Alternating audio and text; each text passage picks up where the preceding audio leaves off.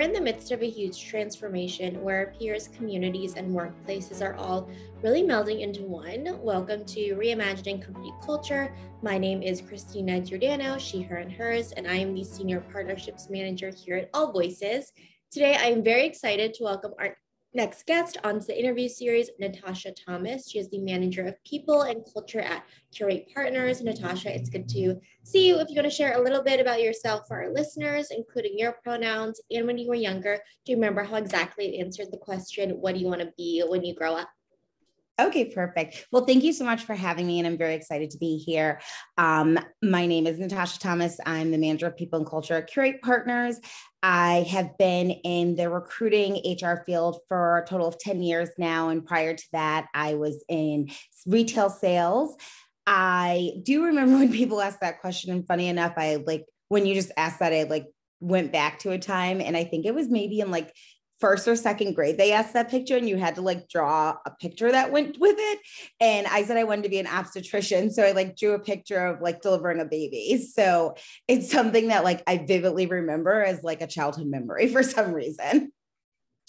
I love that. It's always interesting to kind of think about where we would be 10 20 years down the line and when people asked us to do projects or ask the question of what do you want to be when you grow up as well. Fast forward to today, can you tell me a little bit more about how has your personal journey really led you to be at Curate and really lead you to be in that people, talent, culture space?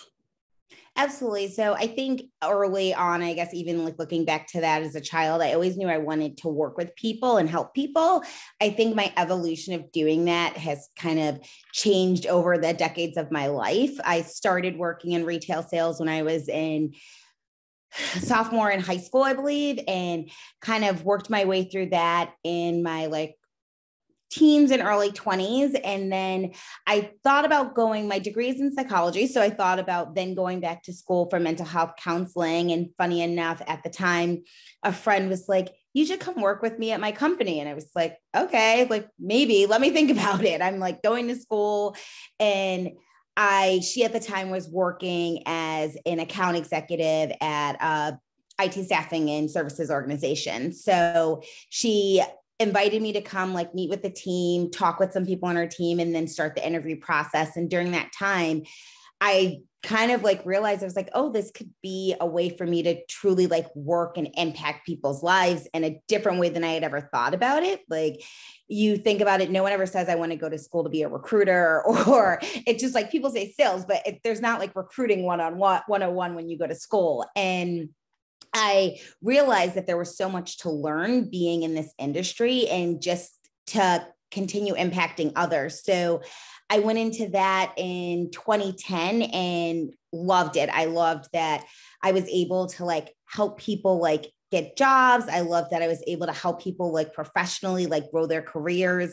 I love that I was actually able to just impact people's lives where maybe they didn't have like a savings before, they were living paycheck to paycheck and they had been able to like flourish their careers to the fact where they no longer had to worry about that and they did have a saving. So all of those things really impacted me.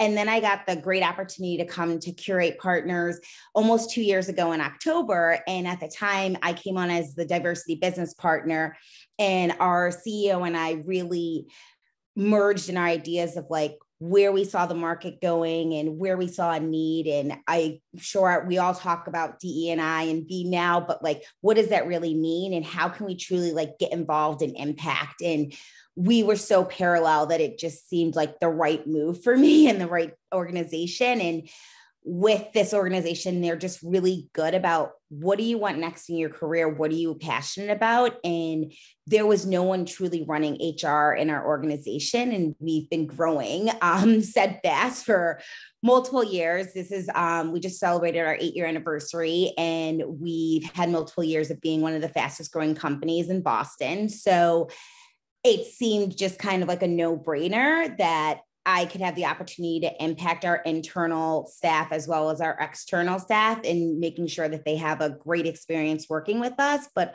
also keeping like at the core of what our company is about, and that's the people. Absolutely. You have an incredible opportunity to impact the lives of people, not only in their job and growth, which is really important, but also in their whole lives as people inside and outside of work. And that's what some that's something that a lot of folks are looking for in their career as well as people are thinking about um, kind of the role of work in their lives over the past few years. One study showed that 47% of employees reported that their stress was higher than anything they'd experienced uh, in their career before, but only 37% agreed their organization really understood what they needed, both in their personal lives and for their, their families. How would you answer kind of how you're showing up for the full lives of employees at uh, Curate Partners? I think the great thing about our organization is that with over a hundred years of industry experience with our co-founders and then with the individuals that are working with us day to day, we the co-founders started the company being in this industry and knowing the stress that went with it and they never wanted anyone working with us to experience that. So I think we see it with one of the things that like a steadfast is we have unlimited pto and it's not about a lot of companies have unlimited pto and people don't actually take the time or they're like oh i don't know if i should take this time is am i going to be judged if i take a lot of time and i think we are very like work hard but then take the time to enjoy time with your family and your friends and don't be afraid to take a mental health day. And we look at we have monthly lunches which are DEI and B focused and they are about mental health financial health like just overall like self-care and how do we support the people that we're working with every single day. So i think for us it's not just about like saying it but also doing it. And i think that people see the leadership in our organizations taking the time to be with their families, taking the time to like do what they need for themselves and be in their children's lives or just be there for their friends or be there. Just sometimes you just need a day off and being able to say i just need a mental health day and it's okay to say that. No one's like oh my gosh, someone said that. That's so weird. I think now a lot of organizations do take that into consideration and they are looking at the mental health and well being of the individuals in the organization. But I think that I looked at we were maybe a little bit ahead of our time with actually like being able to do that and then also just really taking time as a team to spend time together and i think that it allows people to be a little bit more themselves, people show up a little bit more authentic to work when they feel like they have that opportunity to share how they're feeling, what they're doing, and know that it's not something that's going to be like potentially held against them. I think that a lot of people don't come to work fully as themselves because they're afraid of what that backlash might be. And I think that I've could feel very confident saying that I don't think that that's what we have in our culture. I think people are very comfortable like showing up as themselves, but also knowing that they have the support if needed and when needed from anyone in the organization, from you know the person who's directly leading them to our like ceo and i think that that's something that's very different. It's like a great part about working with a smaller organization because you feel like you can talk to anyone and there's not this level of like hierarchy but also you feel like everyone like does care. And i think that for me that was one of the reasons that made me pick this organization is that in the beginning i really felt like from my first conversations i was like wow people like really care. And it's not just kind of like you're hearing them say it, but I can, I feel like I'm a pretty good judge of character and I could feel it from like my initial conversations. Yeah, you definitely want to feel it from those initial conversations. And you mentioned kind of celebrating the eight year anniversary as well. And you want to continue to feel the, the values of the organization and also that people are authentically invested in you as an individual, uh, as well from managers and leaders, and people are really modeling that behavior. If you say that you value flexibility and that and that time off, are people taking that, and are you having those transparent conversations as well? Um, alignment between kind of those actions and the the commitments from the team too. How do you think about ensuring folks feel like they really belong at Curate Partners from day one, day 90, year two, and beyond. I know this has also been a conversation folks have been talking about of engaging and re-engaging uh, folks, especially as the company continues to be in, in a growth mode too. Right. Um, I think for us, one of like the first things we do is as soon as someone um, is onboarded, whether that's like them accepting our offer or we know they're going to be starting with our organizations, we send them a welcome, kind of a welcome case. And it's got like some swag of our company. It's got, you know, pens, cup holders, all the things that you might need. And we send that both to our internal staff and our eh, consultants that work for us as well. So anyone who joins our company gets kind of this welcome kit from us of everything that they need. Um, from an internal standpoint, when individuals are starting, we try to, if they're local, because we do have individuals that are, um, 100% remote as well. We try to have them come in their first week so they get the opportunity to engage with the team to work with different people to get to meet the different parts of our organization because our co-founders are there our financial team is there our operations team is there as well as our account executives and recruiting consultants and everyone's in an open concept. So it's you have people from all different parts of our business sitting together at any given day. So you really get to like understand what people are doing, who they are. Um, I think the other thing that we really pride ourselves on is for our individuals who are remote, we set up welcome calls with them for everyone on the team. So they're not calls to just say, like, oh, hi, I'm new, but it's really that bonding time to understand like what are your hobbies? Tell me about your family. Like what are your interests? And it's more about getting to know the person on a more like intimate level of who they are than just kind of the cookie cutter like oh nice to meet you. And it's really a way to relate to people to understand like what do you have in common? Because i think that what helps you feel like belonging a lot of times when you get some places if you can find that commonality with someone. And it's maybe not the person that's sitting next to you or across from you but it could be the person that's in our instance maybe working in california. And you realize that you maybe have kids the same age or you played the same sports in high school or college or you like the same reality tv show. And from there you're able to like build that relationship um, another thing that we do is we do monthly lunches and weekly lunches, actually. And I know that a lot of companies do that. Um, what we try to do, though, is make sure that we're all sitting in our kitchen together.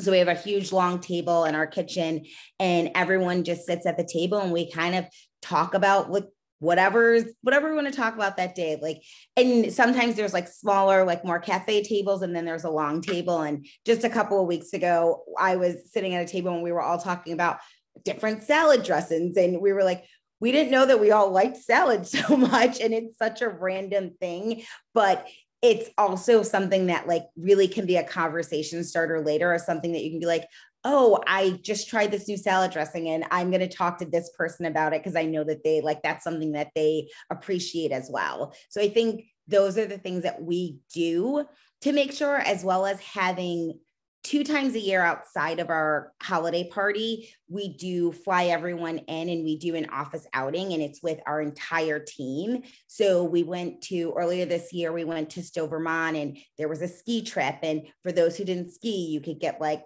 a spa service, but we all did like lunches together and dinners together. And we still did a lot of things as a team, even if you weren't, say, like, like myself, I'm not the most athletic person. So I chose to go to the spa. But before that, I like hung out with different people who were doing the treatment. So things like that. We just had a day where we all went to the beach together and we played like different games. Like we did an egg toss and we did like um I'm trying to think of everything we did because we did an egg toss, we did um what is it? Um smash ball. I'm not like a beach ball a, a beach game person but we did a lot of beach games. I all games and stuff? Yes Yes, yes, that one. So we did that. We did cornhole. So a lot of different activities. And then there was just like time to just like relax on the beach too. So a fun day where some of the people who work in our like DC area, I talk to on the phone all the time, but I like literally hadn't met in person. So it was a really good time just to like connect and talk about different things. And then following up, be able to talk to them about like, oh my gosh, it was so good to see you. And it was so fun to figure out that like we had this in common. So I think those are the things that we do to make sure that people like really feel like they're included, but also belong in something like bigger than like what might be happening in your own home because i think that when you're working remote sometimes it's hard to get out and like feel like you're a part of something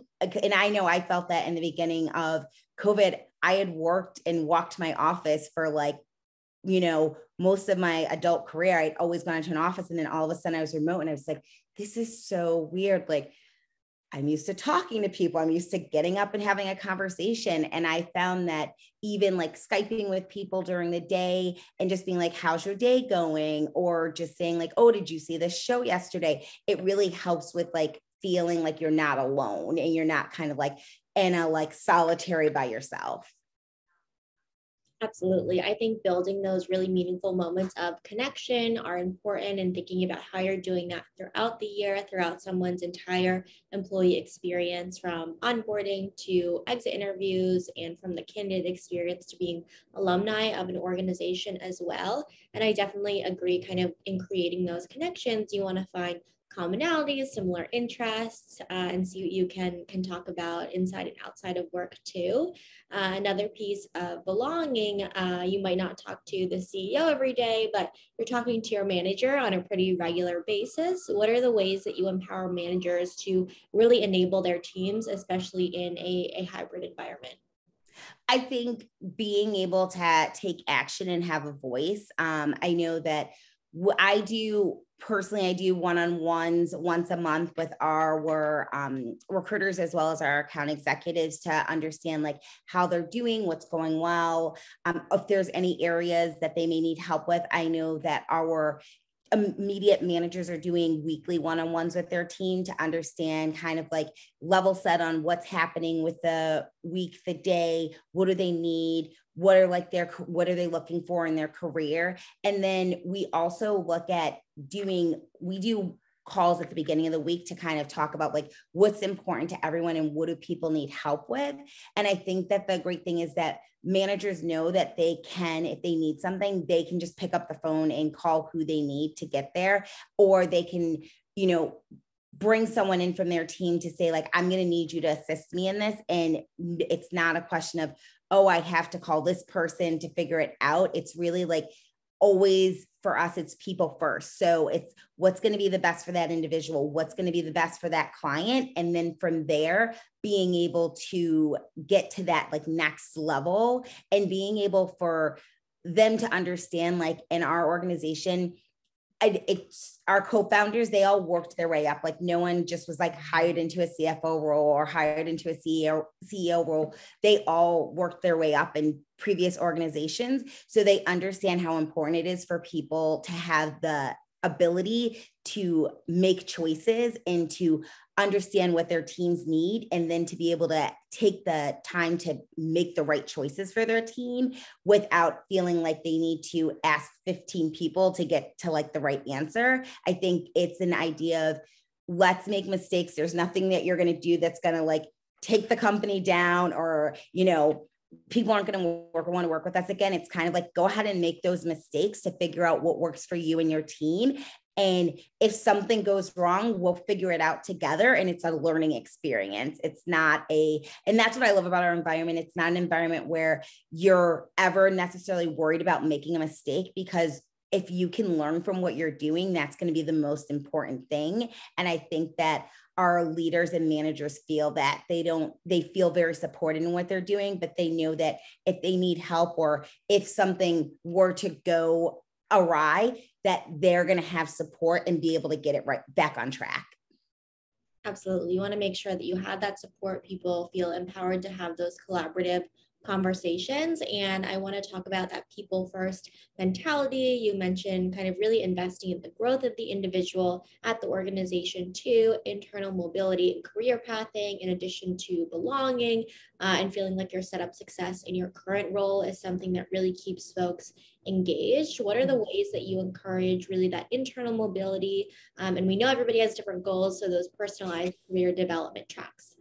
I think it's truly understanding what's important to people, both personally and professionally. I think that um, I like to think that we all have a purpose, but everyone's purpose is different. So for us, it's really figuring out like, what is your purpose? Like, what is your reason for being? And then from there, figuring out like, how can we help you get to what's going to personally make you feel like you're fulfilling your purpose but professionally like what are going to be the routes that you can take to get there and i think that it's interesting because some people don't know you know if you're new in, if you're new in your career you don't necessarily know like where you want to be in five years. Like i think people ask that question people are like i want to still be employed?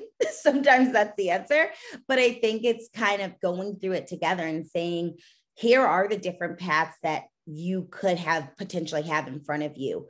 What do you feel passionate about? And i think it's having those questions those conversations about like what are you passionate about? What excites you about this job and then building a pathway from there i know that like a lot of our leaders we look at okay we know that these individuals have potential to do this next in their career, but let's make sure that's right.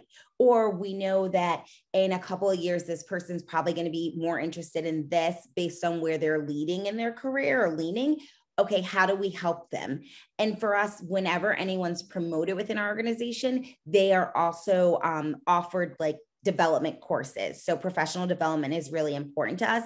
And it's something that as an organization, we are covering. So it's not like, oh, it's great that like you are, you're in this next level. And I know that a lot of companies, sometimes we promote people Eh, but we don't know are they good people managers are they do they have what it takes to like make people like motivated to want to work for them and with them and i think it's really important that we invest in that so that we can make sure that everyone feels good. You feel comfortable as a leader, but also the individuals who you're leading and working with feel comfortable collaborating and working with you. So for us, it's really important that we invest in career development courses and doing whatever the individual needs or wants or what they see is going to help them get to the next level. Because sometimes we're going to be more in tune with what we need than maybe someone else on the outside and kind of everything looks good. But I might say in myself, like, I know that like I'm really not good with conflict resolution. So I'm going to take a course on that because I think that's something that like I could benefit from, even though other people around me might not see that as something that would potentially be something that I could benefit from taking a course in that. Yeah, you really want to invest in people's professional development and also have those two way kind of conversations in terms of what are you passionate about, being curious, and really building something together in terms of a path to success as well. Uh, so I definitely agree with that too. And it sounds like uh, there's really intentional ways to do that at Curate Partners as well. At the time of this recording, we are in the midst of National Hispanic Heritage Month and recognizing empowering Latinx employees is something that we should be doing 365 days a year. How is Curate Partners really celebrating uh, this month um, and really supporting employees throughout the year? I think for us as an organization, we realize that social media is a pretty powerful source of information. And we like to use our platform to bring awareness to important causes as a means to show that we are educating ourselves and observing the month, as well as allowing our employees to feel seen, included, and recognized. I think for us, we really try to foster building relationship with different organizations and also trying to support minority and women owned businesses, um, not only through some of our gifting throughout the year with our internal and external consultants, but also um, by working with and utilizing locally owned businesses. We do um, weekly lunches with our team. And with that, we try to strive to make sure that we are supporting local businesses, especially um, with this being Hispanic Heritage Month. We worked and supported a locally owned Hispanic restaurant last week. And um, I know that our team was really enjoyed the food and was definitely a crowd favorite. And I'm sure we'll be frequent customers with them moving forward. So I truly do believe for us, it's really just making sure that like we're not only educating ourselves but our team and making sure that we're not just saying things but truly living the actions and working with organizations to show our support yeah something that is thought about in an intentional way 365 days a year